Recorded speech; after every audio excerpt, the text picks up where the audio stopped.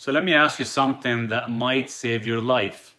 Are you taking blood thinners right now? Or maybe you're worried about blood clots. Either way, you need to hear this because what I'm about to share isn't just another medical lecture.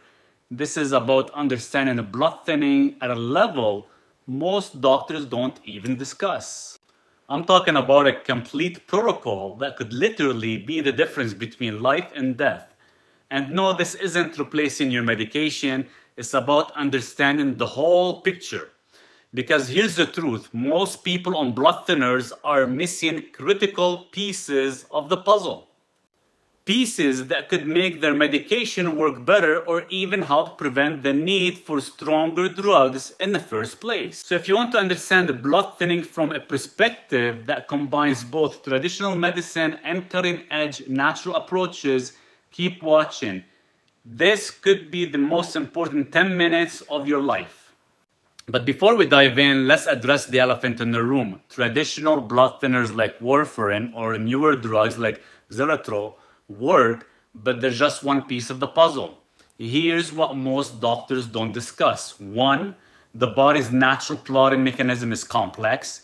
Two, multiple pathways need attention. Three, nutrition plays a crucial role. And four, timing matters more than you think. And most importantly, you need to understand why you're prone to clotting in the first place. Your blood health depends on three critical pillars, and missing any one of them could be dangerous. So pillar number one, fibrin control. Think of fibrin as a spider web in your blood vessels, triggered by stress, inflammation, or injury. Build up over time if not properly broken down, and it could lead to clot formation. Pillar number two, platelet function. See, sticky platelets are like Velcro in your bloodstream. They clump together, uh, form microclots, reduce blood flow, increase inflammation, and lead to vessel damage. And three, endothelial health. Your blood vessel protective barrier, which lines all blood vessels, controls blood pressure, regulates inflammation, produces nitric oxide, and is the first line of defense, protective layer function. So let's start with the most powerful natural blood thinners and I'll share exactly why and how to use them. First up is nattokinase. Most people take it wrong. Optimal dose is 4000 fibrin unit three times daily. Critical timing away from meals. Why? Half-life is only 4 to 6 hours. Must be combined with other enzymes for best effect. Next is lumbrokinase, more potent than nattokinase. Dose 20 milligrams twice daily. Best for existing clots, expensive but worth it. Warning, do start slow and build up. Now the game changer serrapeptase, 200,000 SPU three times daily on an empty stomach only, breaks down dead tissue, pairs perfectly with neurokinase. Don't take with medications. Now let's address platelet function. This is crucial because even with perfect fibrin control, sticky platelets can still cause problems. Components, fish oil. Not any fish oil will do. Look for quality cod liver oil. Requirement is 3 to 4 grams of EPA and DHA daily. Must be triglyceride form.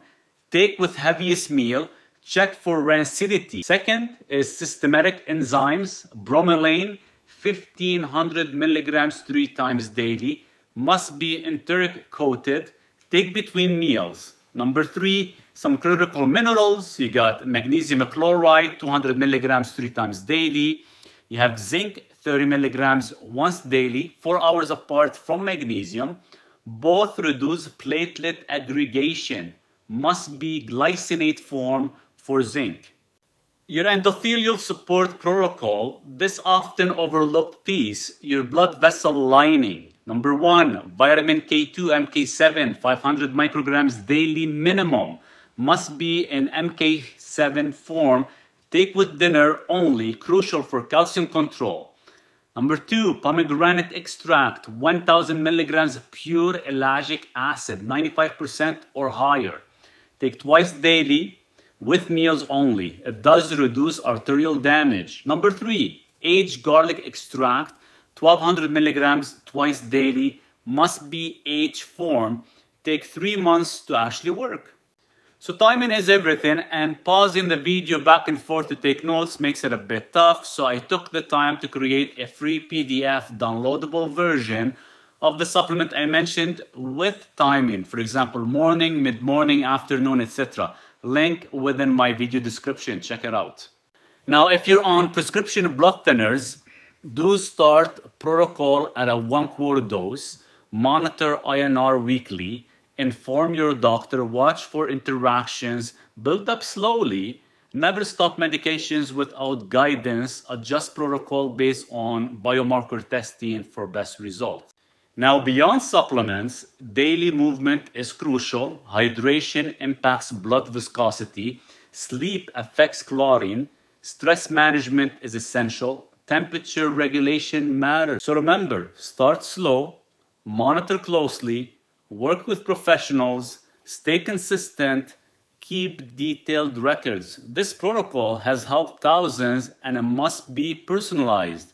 Like this video if you found it helpful, subscribe for more protocols, comment below with questions, join my community for support. For detailed protocols and supplement recommendations, visit link in description, follow for weekly health updates, share with someone who needs this information. Cheers.